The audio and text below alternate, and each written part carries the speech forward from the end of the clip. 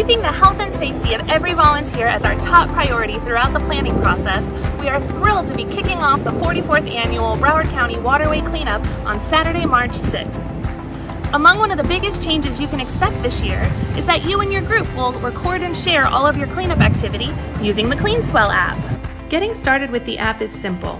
Once the CleanSwell app is downloaded on your phone, you will create your free account by entering your name, email, location, and password. After that, you're ready to start your first cleanup.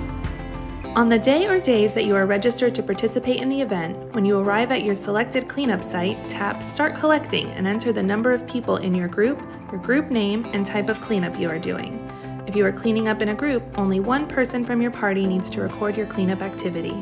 As you collect your trash while you're out cleaning up, track the items in the app from the different icons on your screen.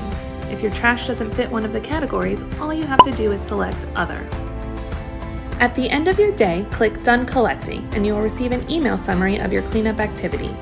If you need community service hours for volunteering, make sure to forward your cleanup summary along with a picture of the trash you collected to info at miasf.org.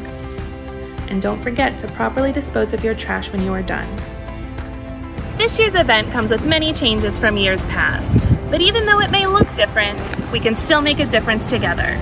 So what are you waiting for? Head on over to waterwaycleanup.org now to register for all the days that you can get outside and clean up our waterways.